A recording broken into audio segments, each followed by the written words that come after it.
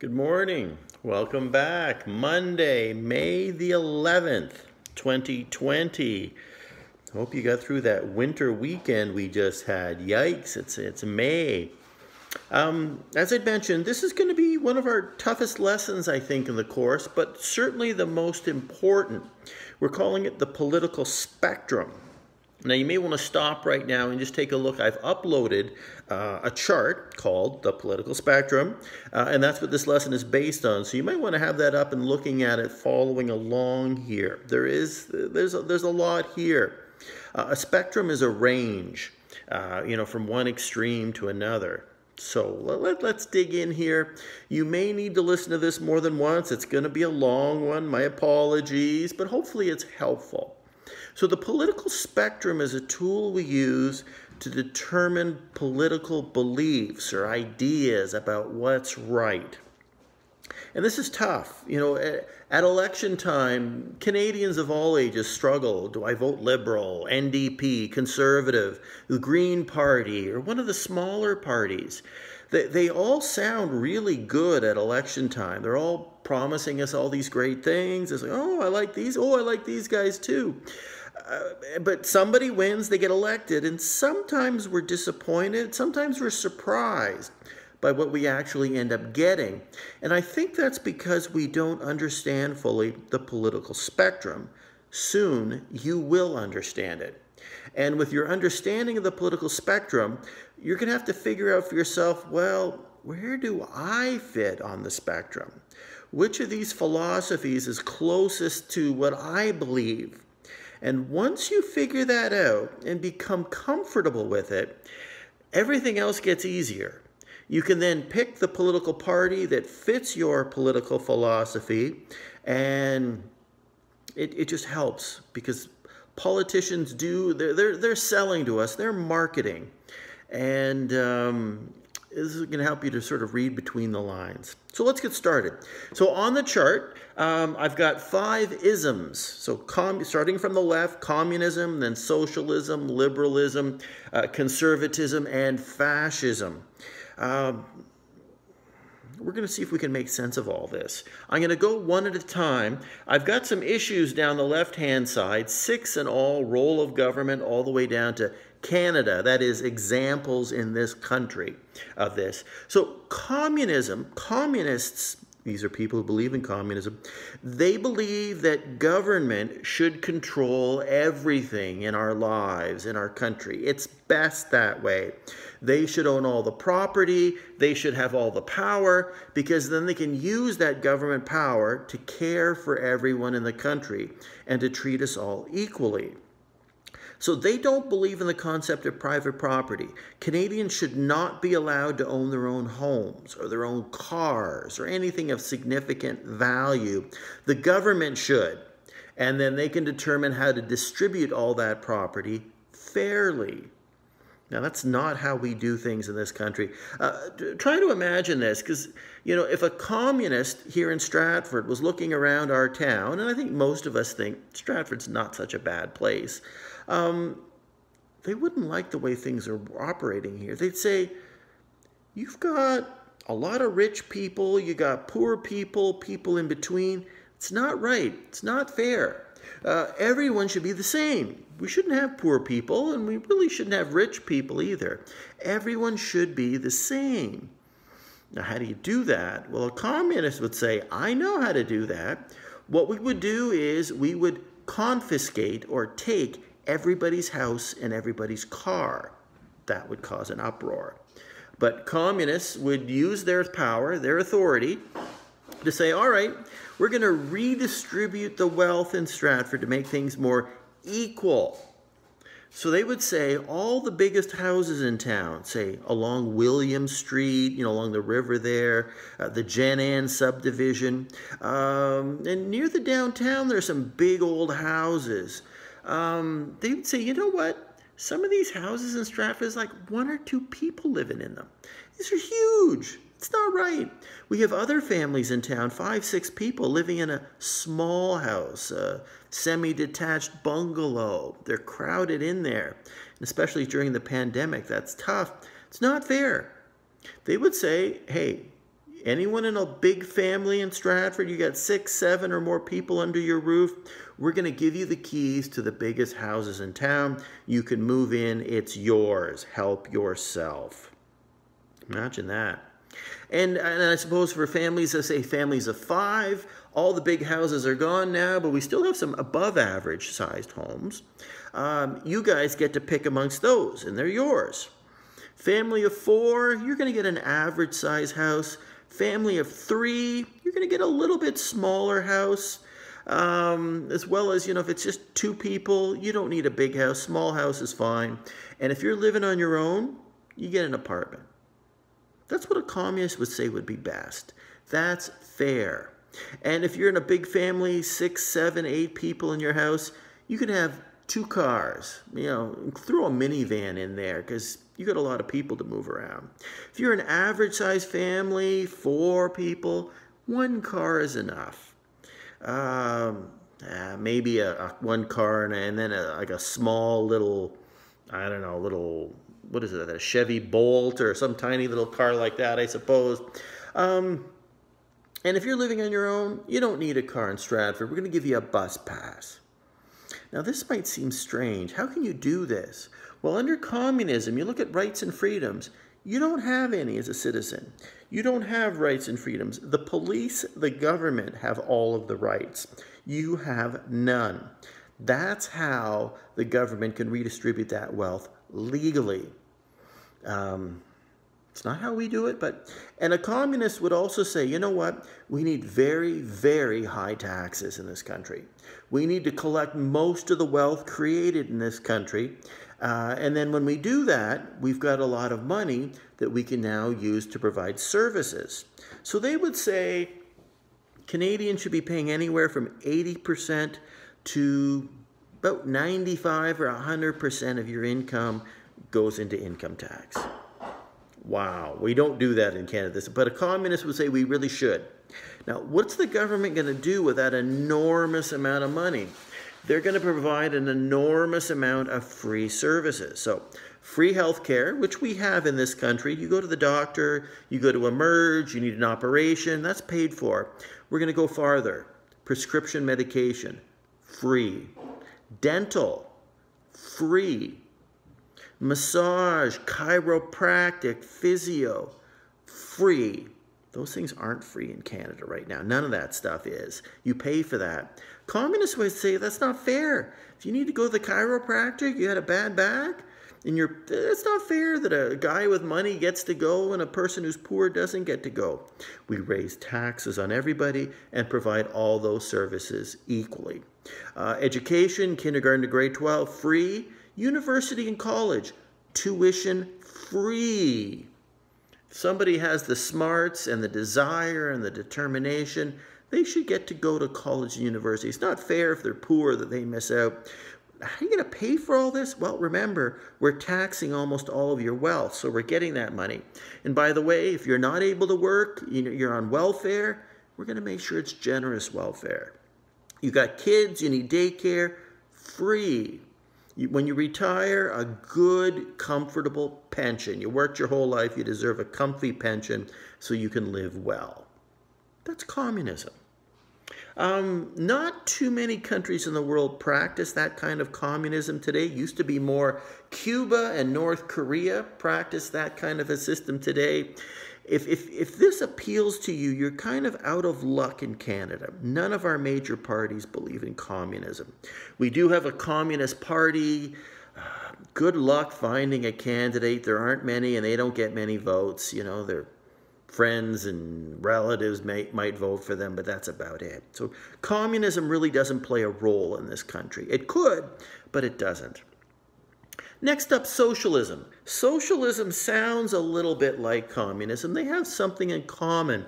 Um, they also believe government should play a big role in society, more than it currently does, needs to care for people. So this idea of free health care, which we have, uh, socialists would say our health care in Canada is not socialist enough because in this country you have to pay for your prescription drugs.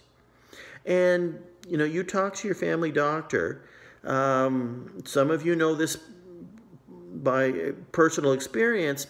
not everyone in Stratford can afford prescription drugs. They're expensive. You get these little jar of pills or a cream, it can be like 75, 100 bucks. And you go through it quickly. Uh, there are people in Stratford who, when they get a prescription from their doctor, they don't fill it because they know they can't pay for it. It's tough. A socialist would say that's not right. This is a rich country. We should be able to afford that. We should be paying for that. They would also say it's good that we have free education, grade, uh, kindergarten to grade 12.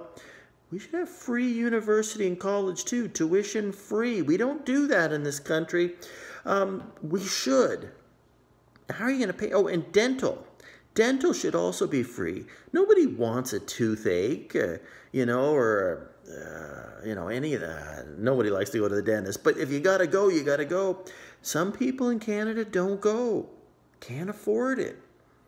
Uh, socialists would say this isn't right. We should raise taxes in this country. Everyone's income tax should go up significantly. It's going to have to if we're going to pay for all this stuff. Socialists would say you got to bite the bullet. We got to all chip in more so we can provide all these services for everybody. Uh, where can you find this? In Europe, a lot of countries France, Germany, uh, Sweden, Norway, a lot of Italy, Spain, Portugal. A lot of these countries run their system based on socialism. Their taxes are higher than they are in Canada, but you're getting these more free services like, you know, your free health care. If you like socialism in this country, you do have a choice, the NDP, the New Democratic Party of Canada. They are socialists. They say, hey, we're socialists. Um, so election, in this last election in October, uh, Jagmeet Singh, the leader of the NDP, was talking about this a lot. He said prescription drugs should be free in this country. If the NDP wins the election, we're going to do that. Uh, he didn't win, so it's not going to happen. The part that he doesn't talk about so much is we're going to have to raise taxes a lot to pay for that and for some of these other things. Um, but that is social. It's something we could do. That is socialism. The Green Party of Canada is not a perfect fit, but they tend to fit under socialism as well. They want a lot of taxes, um, carbon taxes and other taxes um, in defense of our environment. Well, let's keep moving over. Liberalism. Um, they also believe the government should own some things, but not so much. Not as much as socialists. They like our free health care in Canada. And although they feel bad that not everyone can afford their prescription medication, they're not going to do anything about it. They, they talk about it, they're sympathetic. Maybe we should, you know, Justin Trudeau, uh, is the head of our Liberal Party, has said we should look at covering more people's prescription medication, but he knows it would take a big tax increase. People who believe in liberalism, they do believe in relatively high taxes, but not too high. They're just not prepared to bite that bullet to provide free uh, pharmaceuticals, prescription drugs for everybody. But taxes should be reasonably high. I have to step back a minute here. Socialists believe in high taxes, 50, 60%, uh, not as high as communism, but high. Liberals are more in the 30 to 50% range. That's what people should be paying in their income tax. Um, liberal country, and so they're happy with things the way they are free health care, but not drugs, free school K to 12, but not university. You pay for that, and we provide decent welfare and old age pensions, but not free dental. You have to look after that yourself too. Uh, in Europe, England is a good example, Australia is not bad, and Canada. Canada is governed pretty much under liberalism most of the time. And if, if that's your approach, then the Liberal Party, not big, you know, it's called liberalism, so they call themselves liberals. The Liberal Party would be your party. Conservatism, they're not so big on government. They think taxes in this country are already pretty high and should be cut. They do support free education, K to 12. They support health care, uh, maybe not as much as the liberals. Sometimes they think, oh, maybe we shouldn't be providing all this stuff, but they do, for the most part, believe in government funded health care. Not prescription drugs, though. Definitely not dental. You need daycare, pay for your own daycare. Come on. And university college, you pay your own tuition. We'll give you loans, but you got to pay this stuff back. They believe in lower taxes. They'd like to see Canadians pay somewhere between 10 and 25% income tax. Uh, and so with less money, that means less services. So K to 12 schools, maybe class sizes need to be a little bit bigger so we don't need so many teachers. That would save us some tax money. Um, they believe in uh, you know government funded health care, but you know if they can cut a little here and there, they think that's important because you just don't want to be raising taxes. That's a big thing for conservatives. Don't like the taxes. Um, examples, the United States is a good example of a conservative country. Switzerland, South Korea, they govern themselves basically based on conservatism. And in this country, guess which political party is conservative? The conserv, yeah, that's right, the Conservative Party. Our last one is fascism. It's not a perfect fit on the spectrum, but I put it there. They don't like government at all. Very little government at all. Very low taxes, zero if you're poor to maybe 10, maybe a little bit more, 10%. But they're not providing the services. Kindergarten to grade 12, they might provide that, but you're going to have to pay some user fees.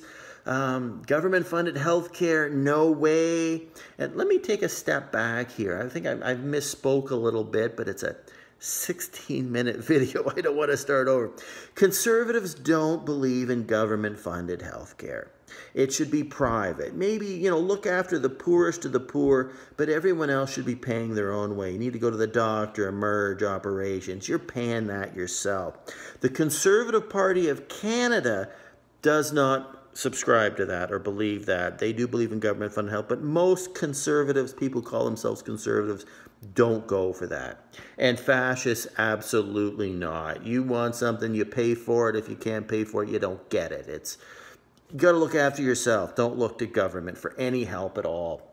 Um, countries, we don't have any great example. You know, Nazi Germany is the example that gets thrown around, or or fascist Italy during World War II. Nowadays, maybe Iraq years ago under Saddam Hussein.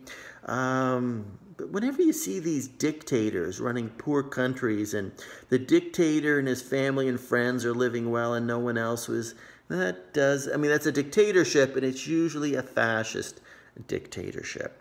And in Canada, there's no such party that you can choose from. So there's a lot there. Um, people could quibble with me on, on this a little bit because uh, we're dealing with philosophy. If, if you or mom or dad's a socialist, they may, oh, Fischer's not quite explaining that the way I would explain it. The same with the other isms, but it's pretty good. Um, so, from a Canadian point of view, the New Democratic Party of our major parties would like to see more government services. They talk about that a lot. Uh, they say Mr. Trudeau's not providing enough funding during this pandemic. There should be more. Uh, that would be the NDP. They don't talk so much about how that would require higher taxes, but that's what they believe. Liberals are pretty much happy with, I think we're getting it about right Conservatives would say, and, and, and, and Mr. Scheer, the conservative leader, has been saying lately, I think Mr. Trudeau is being too generous with this money for people who are out of work. It discourages people from finding work. And how are we going to pay for all this? This is enormously expensive because he wants taxes to go down and it's going to take a lot of tax dollars to pay back all this money from the pandemic.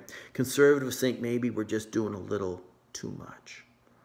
So that's a lot. Uh, go through this chart. I have no work for you here. Um, I haven't left any blanks. So there's no work other than maybe listen to this again, although another 20 minutes of Fischer might just be a little too much to take for you. But sort of go over this. Tomorrow I'll have a Citizen's Handbook writing assignment. You can probably guess what that's going to look like. Don't want to burden you too much because your second assignment, the one on, um, on ancient Athens, is due not till Wednesday. I want to make sure you're working on that. Um, yeah. So I'll be back to you tomorrow in the afternoon. That's how we do things on Tuesday, Tuesday afternoon. But for now, have a look at that chart and maybe something useful for today. If you've got some questions, if one of those boxes doesn't make sense to you, maybe fire me an email and I can be helpful in that way rather than giving you some formal work. But tomorrow you're going to get a Citizen Handbook writing assignment based on this and the different political philosophies. Um, and I think later in the week I'm going to send you a fun quiz.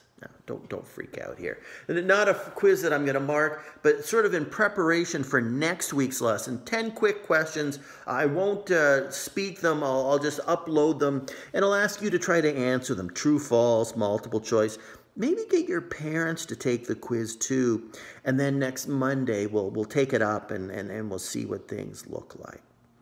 All right, this was a long one, over 20 minutes. I'm sorry, but there's a lot of content here and um, I'll try to keep it, uh, try to keep them shorter in the future.